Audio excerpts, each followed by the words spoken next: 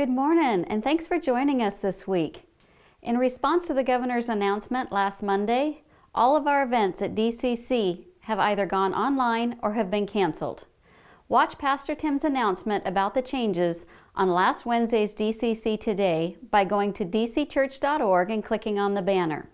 If you have any questions at all, contact your group leader or give us a call in the office at 360 683 7333.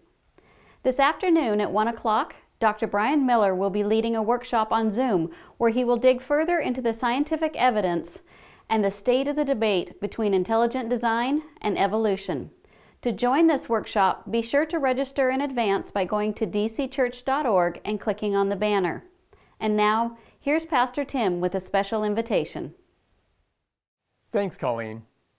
I don't know about you, but this is a very different kind of Thanksgiving for Burnett and I. We had to cancel all of our plans with family, and so we're on our own this Thanksgiving. And that's okay, but it's also nice to see people. So we've decided that Thanksgiving Day at 12 noon and again at 5 p.m., Burnett and I are going to be online for about 15 minutes with a little Zoom meeting.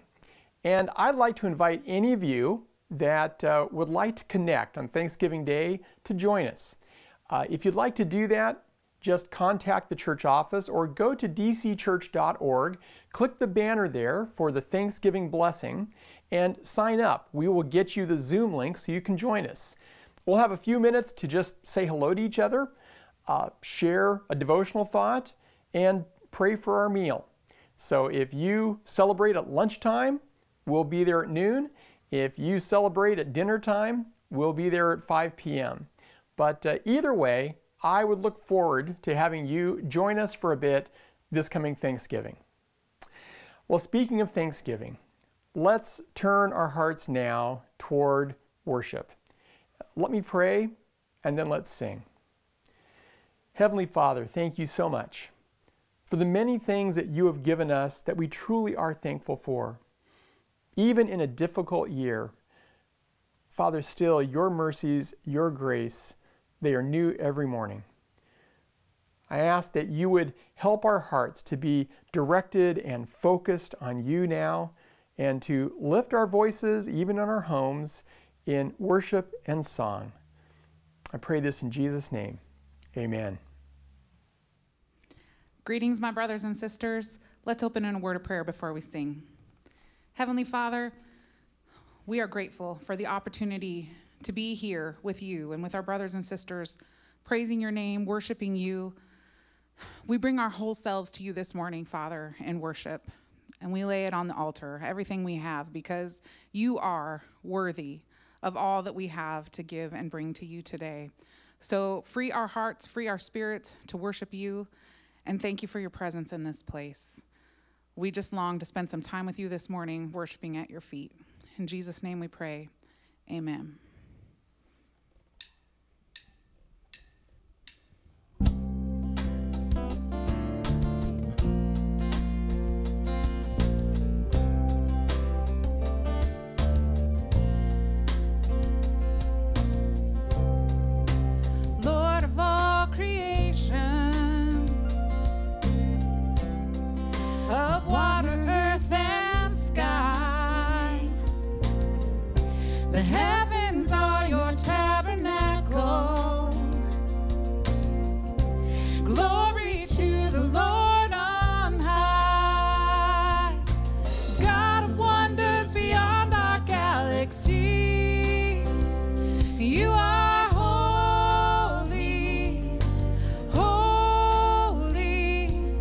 The universe declares your majesty. You are.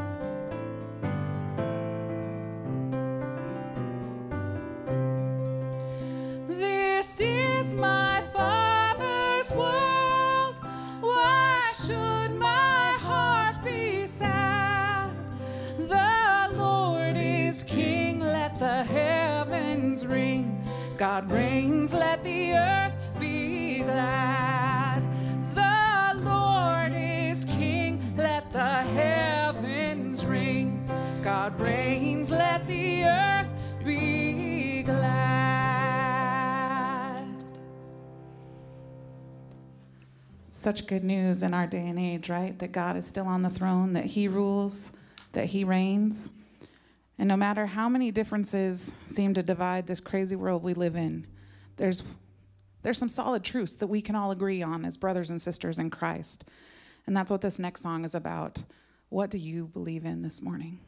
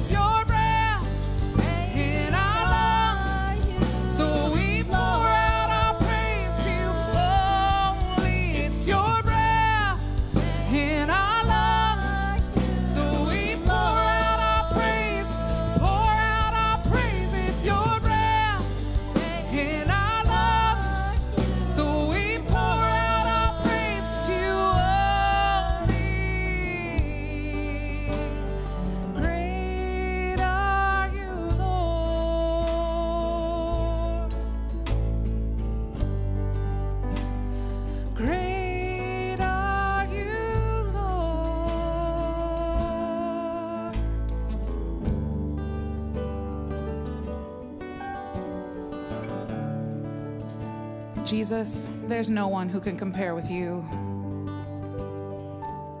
No one. You are matchless, without equal. You're everything good we know how to sing about. You're our righteousness. Hmm. Our kinsman redeemer. You rescued us when we were stuck in pits of sin and despair. You found each and every one of us, called our names, and lifted us out of the darkness and into your glorious light. What a privilege. What a pleasure to bring praise to your matchless name. We sing it now, and we'll sing it for all eternity. Glorious, glorious Jesus, you are great, and we praise your name.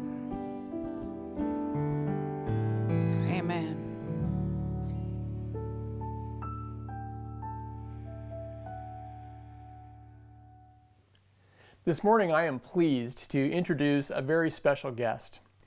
He represents a growing movement within modern science that has played a significant role in my own faith journey.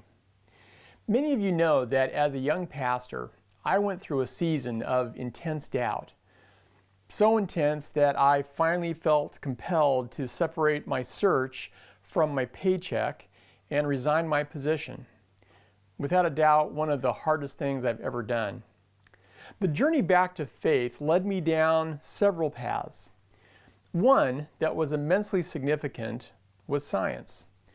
What verifiable evidence was there that could point me either toward or away from God?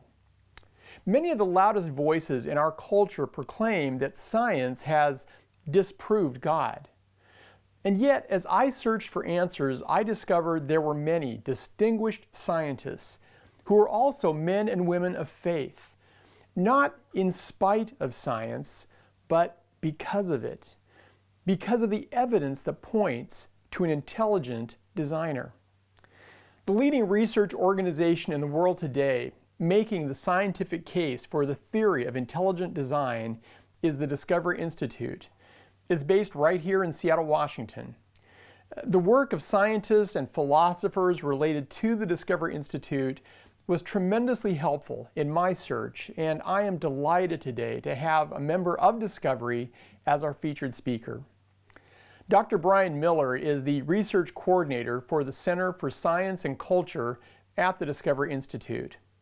He holds a Bachelor of Science in Physics with a minor in engineering from MIT and a PhD in physics from Duke University. He speaks internationally on the topics of intelligent design and the impact of worldviews on society. He's also consulted on organizational development and strategic planning and is a technical consultant for The Startup, a virtual incubator dedicated to bringing innovation to the marketplace. Brian was also the co author of the book God's Not Dead, which became the basis for the movie by the same name. Burnett and I had the pleasure of spending a couple of days with Brian this past summer showing him a bit of the peninsula. And we can vouch for the fact that he is not only a bright thinker, but also a great Christian brother. I believe you're going to enjoy what Dr. Miller has to share. Uh, it's really a pleasure to be with you today. And uh, my name is Brian Miller, and I have a PhD in complex systems physics. So uh, this sermon will be quite a bit different from what you're used to, because we'll be dealing a lot with the science. Because just to give you a little bit of my background, is I went to MIT as an undergraduate to study physics. And I was really challenged in my faith because I wasn't prepared uh, to deal with a lot of the people that didn't believe that God existed. And what happened during my uh, freshman year is I read a book by a man named Richard Dawkins. And if you're not familiar with Richard Dawkins, he's one of the most prominent atheists in the world. And he wrote the book The God Delusion, and I, I think that uh, the title speaks for itself. And what he argued is that when you look at nature, you might think you see design, but it's all an illusion. That everything is simply the product of the blind forces of nature. In fact, there's really an amazing quote by him uh, out of his book, uh, which was out of Eden. And let me just read to you that quote. It was the universe we observe is precisely has precisely the properties we should expect if there is at bottom no design, no purpose, nothing but blind, pitiless indifference. And after I, I read Dawkins and, and just heard many other of my professors arguing against the creator, I became pretty convinced that God didn't exist. In fact, I sort of bought into the idea that either you're a person of science and you pursued truth logically and you were driven by reason and scientific evidence, or you were a person of faith and just sort of believe things blindly. And that was really discouraging because when you read atheists, people like Lawrence Krauss, who's uh, one of the more famous atheists, who's a physicist, he made this amazing statement. He said, We constitute a 1% bit of pollution in the universe. We are completely irrelevant. And that's what I realized is that if God didn't exist, then it didn't matter if I was happy or sad or kind or cruel, I would die, all my memories would cease, and that would be true with everyone on the earth. And eventually the universe would run, run out of free energy and essentially all life would cease to exist. And those are really dark thoughts for me as a freshman, but, but that was where I was. And I remember I said, God, I don't know if you exist, but if you do exist, you have to prove it to me because I'm a scientist. I just can't take things by faith. And I didn't know if that was against the rules, but what happened is God put me on a, on a path over the next several years. And I, I, really believe He divinely directed my life to meet some of the top experts on issues of science, issues on the evidence for the truth of the Christian faith through history. And I came to realize that the evidence for the Christian faith is overwhelming, particularly in the evidence for science and how it points to a creator. Because while people have been told often that faith and science are in conflict, the, the truth is actually the exact opposite. In fact, here's a very famous quote by Albert Einstein, who said the most incomprehensible thing about the universe it is that that is, that is comprehensible. And that's truly extraordinary. Because if you look at the universe, you wouldn't necessarily expect that we would be able to understand it. Because if our brains simply came about by the blind forces of nature, why should we be able to understand things like general relativity or quantum mechanics, or, at least a physicist be able to understand them? Um, it's really incredible because what people don't realize is that science was really birthed in Christian Europe because it was the Christian faith that allowed people to do science. Why is that? Because to study the order in the universe, you have to, one, believe that there is order, that there is a pattern that's actually able to be understood. And you also have to believe that we have the ability to understand that order. And the Christian faith teaches that we're created in God's image, so God created us with the ability to understand the order that He created. Also, the Christian faith teaches that we are fallen. What that means is that we can't always trust our reason. And that led the, uh, the early scientists in Europe to do scientific investigation because the Greeks believed that they could figure out the universe just through reasons. They didn't do empirical evidence. They didn't look for empirical evidence or experimental data. While the Christians realized that you can't trust yourself, so they actually studied the world and they realized a lot of what the Greeks thought was true based on their reason, like the idea that the Earth is in a perfect circular orbit around the sun, actually wasn't true. So it's really the Christian assumptions that allowed science to flourish in Europe. But even more than that, the more I studied science, what I realized is over the 20th century, the evidence for a designer became overwhelming. So many of you have probably heard of the Big Bang, and I'm not referring to the TV show with, with Sheldon and Penny, but the idea that the universe started a finite time in the past. And Christians will debate whether that was very long ago, billions of years, or was it more recent, but that's not the point. The point is that the science from general relativity demonstrates that the universe had to have had a beginning. And this was shocking to physicists. Since the time of even Aristotle and the ancient Greeks, people thought the universe was eternal. And they liked that idea because if the universe was eternal, you didn't have to explain how it started. But what happened is because of the modern physics, they realized that all of time, matter, space, and energy all started a finite time in the past. What that means is that whatever started it had to be timeless and spaceless uh, and infinitely powerful, which sounds a whole lot like the God of the Bible. In fact, the fact that scientists realize that the universe began an explosion of energy sounds a lot like Genesis. It talks about in the beginning, God said, Let there be light. But then the science is even more extraordinary because the more physicists studied our universe, the more they realize that our universe appears to have been designed with the purpose of supporting life. So, it, it, just to use an analogy, imagine that you're given a universe starter kit for Christmas. And that looks a lot like a mixer board that you'd have in a music studio, where every single dial and knob would control some aspect of a universe you're going you're to create. Um, like one dial could be the strength of gravity. So if you turn the dial up, you feel heavier. If you turn it down, you feel lighter. Another dial could be like the mass of an electron or the mass of a quark, or it could be the force between uh, electrons and protons. And imagine that you set all those dials at random and you, you hit a button and a universe started. The chances of that universe supporting life is just fantastically small because all these dials have to be set to support life. So for instance, if you look at, let's say, the force between uh, the, the electrons and the protons, so it's called the electromagnetic force. Or you look at the force that holds protons and neutrons together in a nucleus, which is called the strong nuclear force. Those forces have to be set to within a few percent, because if they're too small or they're too large, our universe wouldn't have enough carbon or oxygen to support life. Other dials on our universe starter kit have to be set much more precisely.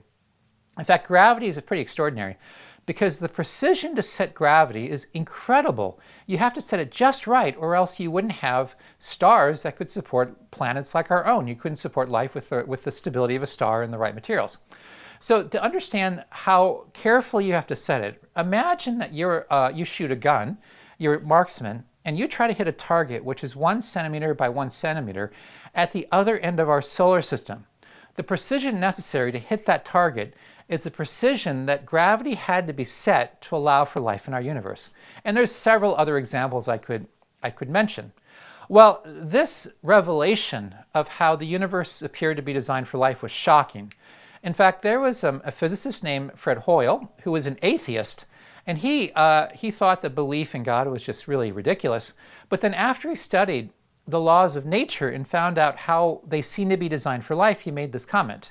He said a common sense interpretation of the facts suggests that a super intellect has monkeyed with physics as well as chemistry and biology, and that there is no blind forces uh, worth speaking about in nature. And the same revelation has been realized by many, many of the top level physicists in the world. But, but it doesn't even, it doesn't stop there. It's not just that the universe had a beginning pointing to a creator. It's not just that the laws of nature appeared to be designed for life. But if you even look at our planet, our sun, our moon, our solar system, eh, so many details about where we live had to be set perfectly or else life wouldn't exist. So for instance, the atmosphere has to have the right amount of oxygen. If there's too little, you couldn't have a complex life like humans because there wouldn't be enough energy that they could access. If there is too much oxygen, the oxygen would basically erode our cells in the same way an apple core turns dark over time. So the atmosphere is just perfect to allow us to breathe. In addition, the atmosphere allows the right type of radiation through. It allows heat, it allows sunlight so that plants can have photosynthesis so that we can stay warm, but it blocks out radiation like microwaves or high ultraviolet that would kill us. So again, the atmosphere is perfect for life.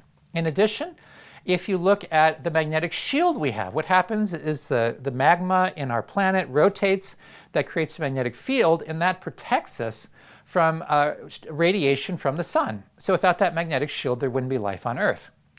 If you look at the moon, the moon is the right size, it's the right distance from, from the Earth to stabilize our orbit. Because if the moon wasn't just right, we would have uh, windstorms that could be a thousand miles per hour. We wouldn't have stable seasons. And you wouldn't have the, uh, the uh, ocean currents, things like high tide, low tide, that circulate the oxygen in the water to allow life at a very deep depth in the ocean. So again, more details. Also, Jupiter. We have these very, very large planets in our outer ring of our solar system, and what they do is they protect us from things like asteroids. If Jupiter wasn't there, we would have a far more collisions with Earth that would be very problematic for life. Um, our sun. Our sun produces the right type of radiation, it's highly stable uh, to allow for life. And even our solar system.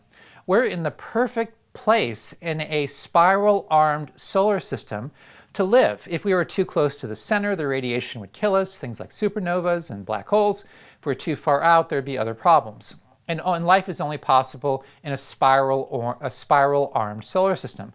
So again, we're in the perfect place in our solar system for life. But it's not just that, because our planet wasn't simply designed for life. It was designed for scientific investigation and cultural advancement. Because the fact that we have an atmosphere that's transparent means that we can see the stars so that we can do astronomy. The magnetic shield that protects us from radiation from the sun also allows us to navigate the oceans. So the magnetic, the magnetic, uh, the magnetic fields on our Earth allow us to use compasses. Uh, if you look at something like fire, not only is the oxygen just right to, to breathe, but it's just right to produce fire. Because if there were too much oxygen, we would burn down all our forests, a lot of like would happen in California during the summer. If there is too little oxygen, you couldn't produce fire. And fire is necessary for technology because you can melt metals and, and make tools. And of course, one of my favorite examples is the wavelength of light that penetrates our atmosphere, the wavelength that, that allows photosynthesis, is perfect for vision. Because if the wavelength were longer, that basically if you have a wave with, uh, uh, with a crest and a trough, if that wavelength were much longer, eyes would have to be the size of football fields for us to have high resolution vision. So again, you see this convergence of uh, details about our planet, our sun, our, our moon, the laws of physics that allow not just for life, but for scientific investigation and cultural advancement. And there's a couple of books coming out. Uh, one is The Return of the God Hypothesis. I've been helping with this book, and that'll be out next year. That'll cover a lot of the material I talked about with the laws of physics. And The Privileged Planet is a really good book that talks about our planet, our sun, and our moon. So these are just more references for uh, your interest. And of course, the other issue, the other field of science, which is often considered uh, the most problematic for Christians, is the issue of biology because people think that's an area where the science has shown that we're just simply an accident of nature and not the product of a designer. However, this isn't something that is actually true when you study the science, because the question becomes, when you look at the design in life, is it real or an illusion? Because people since the ancient Greeks have looked at biology and said, we see very clear evidence of design. Um, and what happens is some people accepted the evidence at face value, where others said, no, I, I, don't believe in a creator, I don't believe there's design, so I'll argue that chance and time were enough to mimic the appearance of design. And this debate goes all the way back to like the 5th century BC, where you have people like in the 5th century, like um, uh, uh Democritus versus people like Aristotle, or even at the time of Jesus, you have people like the Epicureans versus the Stoics who had that very same debate. Is the appearance of design something that's real or is it an illusion? And of course, when you get to more modern times, you have Richard, you have people like um, uh, Charles Darwin. And what happened is Charles Darwin realized when you looked at life, you saw the appearance of design, but Charles Darwin was deeply influenced by the materialist philosophies of his day, the skepticism the idea that there is no God that's involved in the world, that if God exists, he's very distant and uninvolved.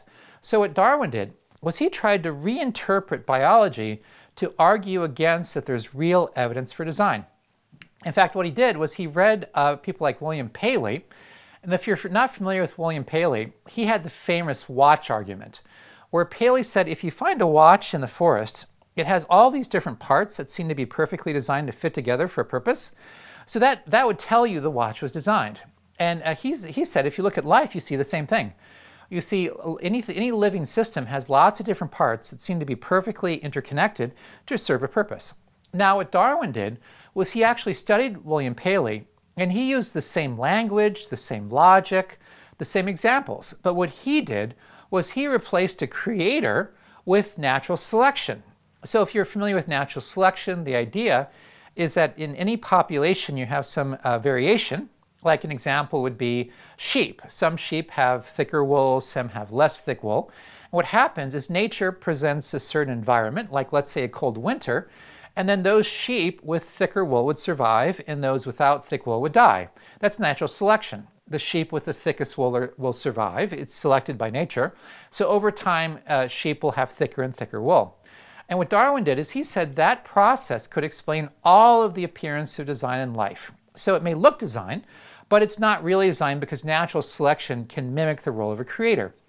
And the, a famous quote about the implications was by Francisco Ayala, Ayala, and he said, it was Darwin's greatest accomplishment to show that the directive organization of living, uh, of living beings can be explained as a result of a natural process natural selection without any need to resort to a creator or other external agent. And that's been really accepted almost as a secular creation narrative that's been uh, promoted in Western civilization. But as it turns out, um, top level theorists now know that that claim is not true. There's actually a, a, major conference from the Royal Society of London, which is one of the most prestigious scientific organizations in the world, the oldest. And it was uh, titled New Trends in Evolutionary Biology. And uh, people came together, top level theorists came together, because what they realized is that what is taught in textbooks isn't actually true. In fact, the first speaker, Gerd Mueller, uh, he uh, gave a wonderful talk where he talked about how natural selection or uh, what's called neo-Darwinism or the modern synthesis is really, really good at explaining things like the variation of the color patterns of tigers or uh, differences in spots on beetles or differences in cichlid fishes in Lake Victoria. So it can explain how uh, evolution can take place to make very, very minor changes to something that already exists. What they realized is the neo-Darwinian framework cannot explain the origination of anything novel, radical new creatures, like with radical new architectures, like the appearance of a worm or a fly or an echinoderm, that they, they really have no explanation of how that could take place. And during the conference, they, they talked about a lot of different extensions to the theory. They talked about eyes like phenotypic plasticity, niche construction, developmental uh, bias, all those sorts of things. But there wasn't one shred of evidence presented that could explain how anything could transform dramatically or how anything truly novel could come about, like the appearance of eyes for the first time. Uh, and, and, that's uh, really quite extraordinary. But there is additional evidence that has come over the last several decades that, that's reinforced this fact. Because if you look at the fossil record, Darwin expected that you'd have what's called a, a, tree of life, that you'd have cells from long ago, they would evolve over time, you'd have different branches that represent the different branches in the tree of life, like animals versus plants. Those branches would have sub-branches, things like the vertebrates. They would have even smaller branches, like mammals versus uh, fish. So again, this is the idea of a tree of life. It's a slow, gradual development over millions and millions of years. But what happened is uh, people discovered what's called the Cambrian explosion.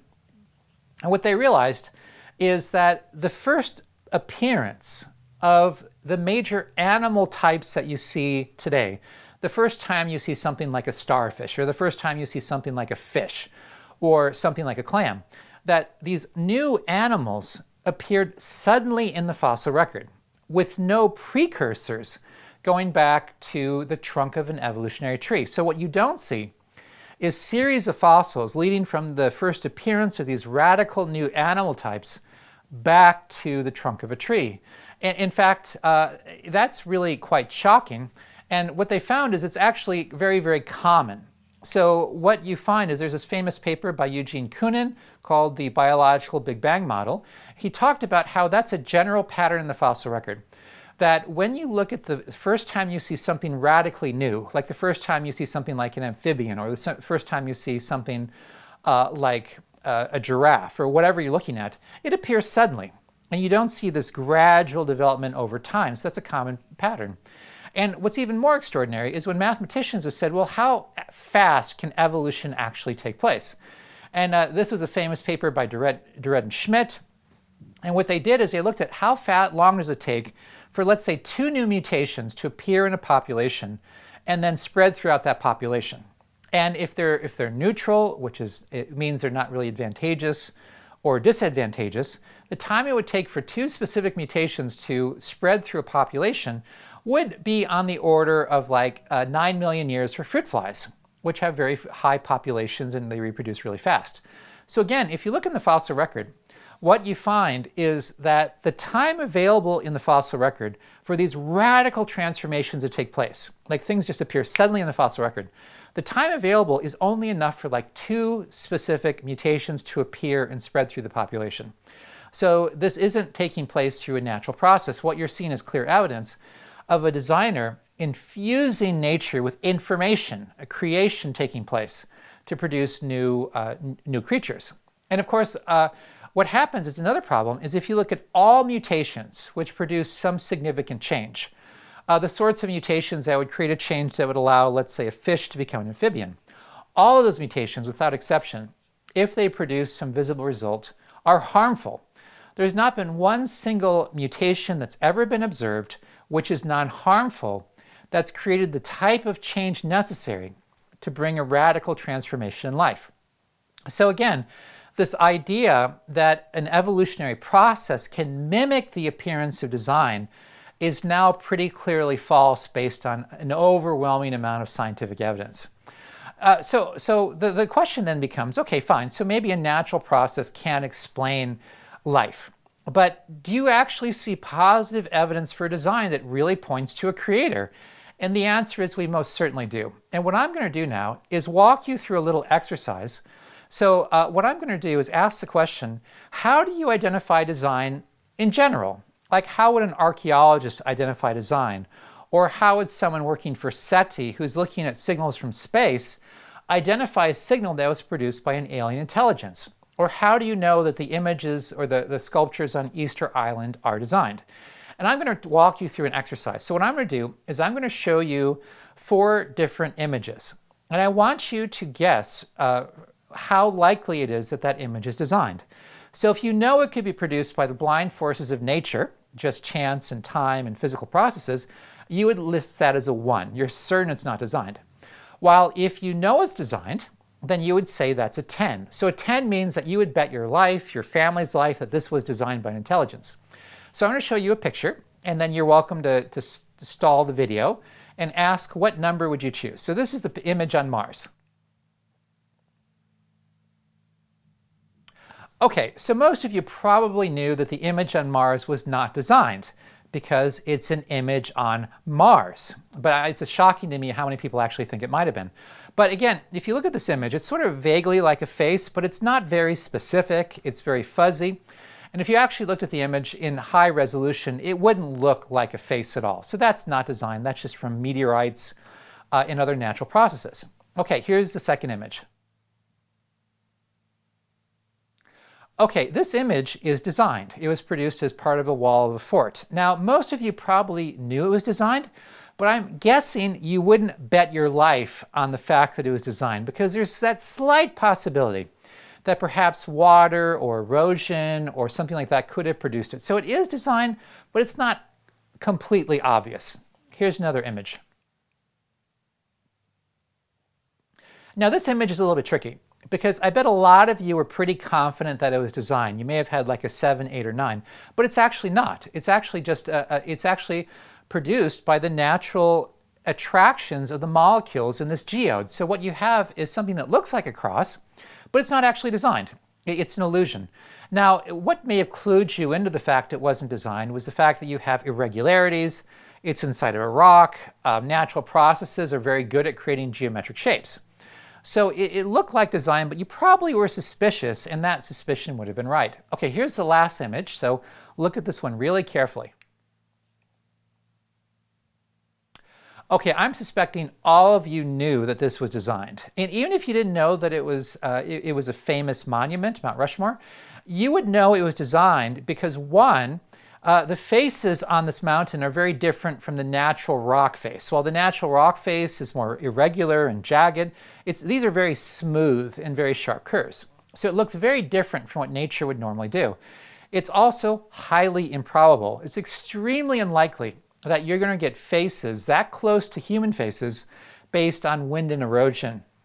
Um, but most importantly, it, it, it, it's images that you recognize. You know that these are the faces of presidents. And they're not just sort of fuzzy faces that sort of crudely look like presidents, but they have very sharp details that perfectly match the images of, pres- of presidents.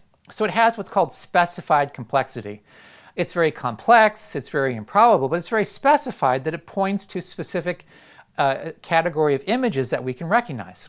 So again, there's no question that this is designed. Now what I'm going to do is I'm going to show you um, a video, and I want you to use the same method of design detection that you did with these other images and ask yourself, does this look designed or not? It's been called one of the wonders of the molecular world, an amazing nanoscale machine. ATP synthase is a high-tech micromolecular power generator inside the cells of your body. It generates adenosine triphosphate, or ATP, an energy molecule that provides fuel that every one of your cells needs to function. Without this fuel, your cells will cease operation, and so will you. ATP synthase works like a rotary engine the barrel-shaped rotator is composed of 10 to 15 protein parts called subunits. The rotator spins around, transmitting mechanical energy into the drive shaft of the machine, which helps make ATP.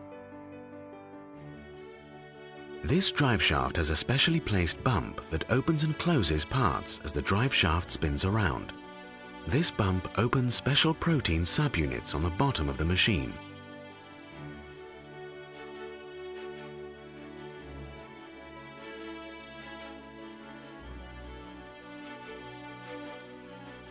When the bottom subunits open, a spent energy molecule called adenosine diphosphate or ADP enters the machine. The mechanical motion causes the ADP to bind with an additional phosphate group, creating the ATP energy molecule. And the ATP drifts off into the cell, ready to power some biomechanical reaction. The ATP synthase machine has many parts we recognize from human-designed technology. A rotor, a stator, a drive shaft, and other basic components of a rotary engine. The ATP synthase is one of thousands of elegantly designed molecular machines inside your cells that make your life and all known life possible. Okay, now when you look at that, what's called an ATP synthase, um, and you ask the question, does it look designed? You will see evidence of design, which is the same evidence that, that convinced you that Mount Rushmore is designed. You have something that is not produced by natural process. There's no physical law that creates molecular machines. It's something that's highly improbable. Uh, if you looked at even one component of that molecular machine, it's made from what are called proteins, and proteins are the building blocks of cells. And what a protein is, is, is simply a long chain of what are called amino acids. And there's 20 amino acids in the same way you have like 26 letters in the alphabet. And what happens is when you have a long chain of amino acids, with the right uh, sequence, it'll fold into the three-dimensional structure, which is one of the components of that machine. And if you ask the question, how likely is it for a random uh, uh, sequence of amino acids to form a functional part of a machine like that? There's some, some uh, research that was done by people like Doug Axe, and I've sort of expanded on that analysis from people like Dan Tawfik from the Weizmann Institute. And what you find is the probability of a random sequence forming a functional protein that could be used in a machine like that, it's kind of like if you mark a single atom in uh, a million galaxies, and then you randomly pick that atom purely by chance. That's the probability that a random sequence of amino acids will form a component of that function of that molecular machine. So it's not something that can happen by chance. And also it demonstrates purpose. It, it, it, it matches what we're familiar with. It looks like rotary motors that we create. We can even, we can even identify the parts. Uh, so uh, by all the criteria that you used in identifying Mount Rushmore as designed, or all the criteria anyone uses to identify design in the world, this looks designed. So there's very clear objective evidence that you're dealing with the creator who designed life for his purpose. Uh, the area where I'm really an expert is the issue of the origin of life. Uh, and what's, uh, what's interesting about the origin of life is what's clear is that's a physical impossibility for the first cell to come about by a blind process. Because all uh, natural processes do one of two things. Either you go from order to disorder, and that, that's kind of like the idea that if you have a room, it's much easier to keep your room messy than to keep it neat. You have to have energy put in to keep your, neat, your room neat. And in, in, the same way, all natural processes go to greater entropy. And entropy is just, is just greater disorder, crudely speaking. Uh, a second tendency is nature tends to go from high energy to low energy. So water runs downhill, it doesn't run, up, run uphill. Uh, high energy molecules tend to break apart into smaller molecules. And every single process in the entire universe always goes to either higher entropy or lower energy or both. The problem is a cell is both high order or low entropy and high energy. There's lots of energy in those chemical bonds. So it's a physical impossibility for simple chemicals on the early Earth to become a cell. Uh, in addition, what you find in the origin of life is very clear pictures of design because uh, the, the simplest possible cell had to have information in DNA. And why is that? Well, I talked about how proteins are long sequences of amino acids.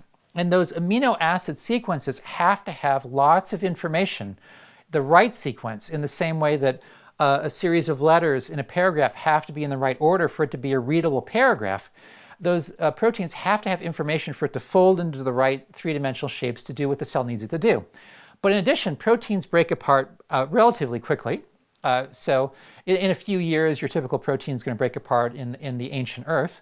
So you've got to keep making new proteins. You have to keep preparing them. So you have to have the sequences of amino acids encoded into DNA. So DNA includes the instructions of how to build all the machinery in the cell and how to operate it. The DNA is what helps to direct the, the speed of chemical reactions. Without that oversight, a metabolism would simply break apart, a cell would simply break apart. And what happens is DNA is a basically a language of four letters, A, C, T, and G, and it's the encoded information for your proteins and for other purposes. And if you look at the simplest possible cell that could exist, that's talking about a billion bits of information. That's like a billion letters, uh, ones and zeros in computer speak or, or, um, or A, C, T, and G in, in DNA. And information, at least large amounts of information, is always the product of a mind. So I don't know if you've ever gotten a butt text. That means that someone sat on their phone and they kind of wiggle it around and you got a text with just random symbols. You would know that wasn't produced by an intelligent agent. That was an accident. But if you got a, a, a text that said, don't tell anybody, but I cheated on the test, you would know that didn't happen by chance, that that was designed, because that amount of information only comes from a mind. Or another analogy I like to use is uh, that of alphabet soup. Now imagine that you're, that you're sick and your, your mother or your spouse asked you to come down for lunch and you see this beautiful bowl of alphabet soup. But the letters in the soup are arranged into a, a sentence. Drink plenty of fluids and rest until you are feeling better. Is it possible to explain that information by the chemistry of the pasta or the uh, physics of the boiling water? Obviously not. That information is only a product of a mind. In fact, Richard Dawkins, in looking at DNA, made an amazing comment. He said, the machine code of the genes is uncannily computer-like. Apart from differences in jargon, the pages of Molecular Biology Journal uh, might be interchanged with those of a computer engineering journal. And, and, that's very telling because remember, Richard Dawkins is not an evangelist, he's not a Christian, he's an atheist, an atheist evolutionist. Yet he looks at DNA and knows it looks like computer code, it looks like what's the product of engineering. And that's very telling because engineers or computer scientists typically don't use random number generators to produce what they want to produce. Uh, and also, um, uh, Bill Gates made an equally striking comment. He said, DNA is like a computer program but far, far more advanced than any we've ever created. So again, what you're seeing is information points to design as unambiguously in DNA as it would in my example, the alphabet soup or text message. In fact, when you look at origin of life researchers, it's pretty amazing because if you look at people um, like uh, Michael Russell, who is one of the leaders of, the, of Origin of Life, he had an amazing, uh, some amazing statements in, in an article that he wrote, a two-part article with his colleague. And I won't go through the quote, but basically he says, it's a theoretical impossibility for a cell to form or even biochemical reactions to form purely through the, the laws of chemistry and energy inputs. It's not going to happen. So how does he explain life? This is an amazing statement. Well, uh, this is incredible. In fact, I'm actually going to read this. Uh, it says, instead we claim it had to have been launched simple and specific, and thereafter have been forced by the scythe of natural selection to maintain the necessary specificity standard at each evolutionary increment in complexity. More specifically, all the devices of life, metabolic and structural, must have been invented by it in situ, step by step, while in flight, starting from the simplest possible inputs and learning itself by trial and error which small changes themselves occurring by chance were useful. Each incremental step in this evolution by creeps complexity building process necessary be, being vetted by the system both for fitting in and for contributing more utility and cost. So this is amazing. These origin of life researchers are talking about uh, basically a chemical soup in a thermal vent. And so there's nothing even reproducing. So the whole idea that natural selection could help it makes absolutely no sense. But what they, they know that design is required to produce a cell, but they don't believe in a designer. So what they do is they invoke natural selection, not as a real process, because again, nothing is reproducing, but more like a demigod that has the intelligence to create the first cell. So what you're seeing is origin of life researchers are acknowledging that the first life required intelligent design, but they don't want to refer to a designer, so they use words like self-organization or natural selection as, a, as basically a way to smuggle design into their research. Um, now, what's also very interesting is if you look at a field called systems biology, what's taking place is systems biologists are realizing that when you look at life, the nature of the design in life is the opposite of what people would expect through an evolutionary process. So I won't read the quotes due to time, but basically, uh, this particular evolutionist is saying that biology is sick because there's this temptation by biologists to talk about uh, structures in life as if they had a purpose, if, if, there, if there's what's called teleology, which is just a philosophical word for design. He says you should stop it because because it's not design, it just came about. Any attempt to look for a purpose is misleading, is the basic point of this article. Um, um, also, what happened is biologists assumed that life would be uh, suboptimal. It would demonstrate poor design, clumsy design, because it's being produced by this random process. There's no way that nature should pr produce the best possible design that there could be. So they assume that there's lots of errors in the human body, lots of clumsy design. You may have heard um, back in like the 80s that people believed that like 95, 98% of human DNA was non-functional. It was just junk DNA. And that has to be the case.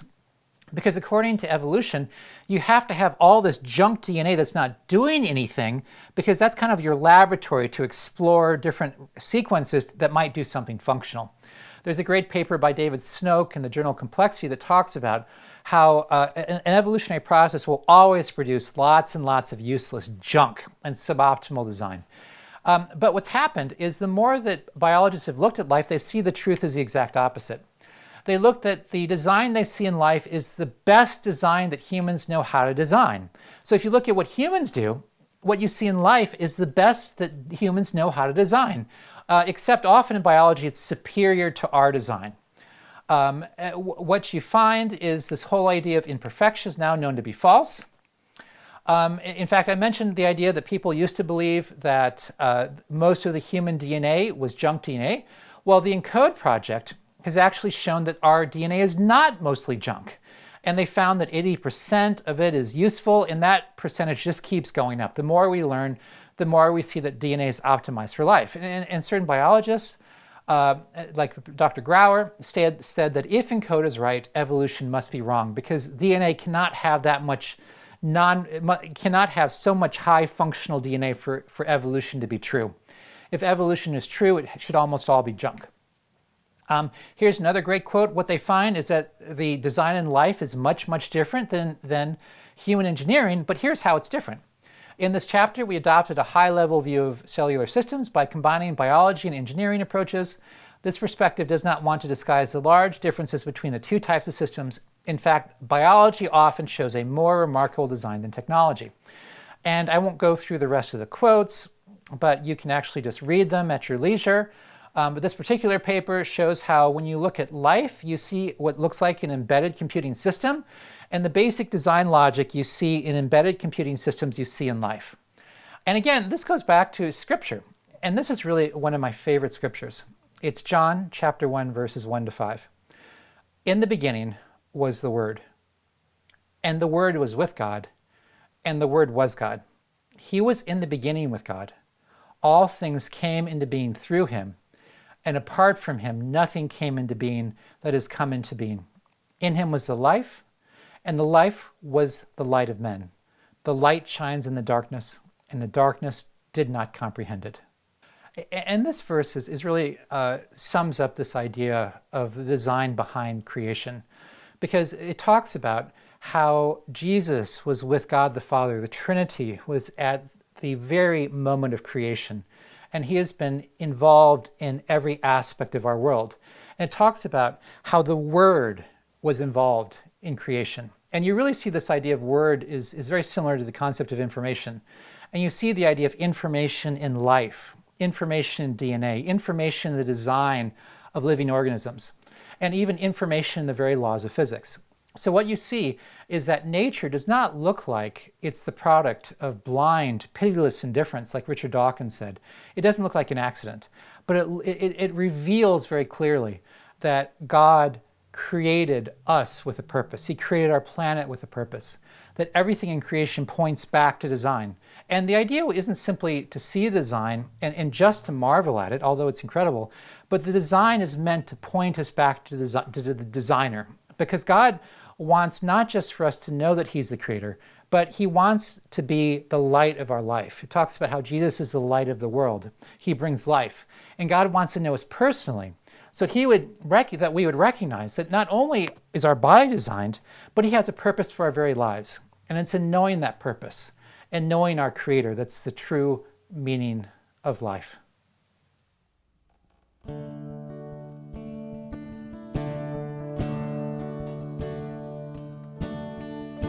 You were the word at the beginning, and one with God the Lord Most High.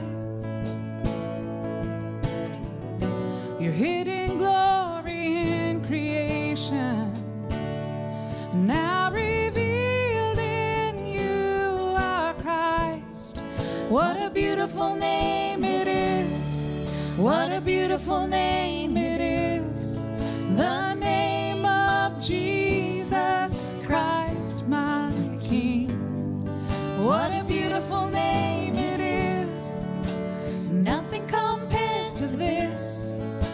a beautiful name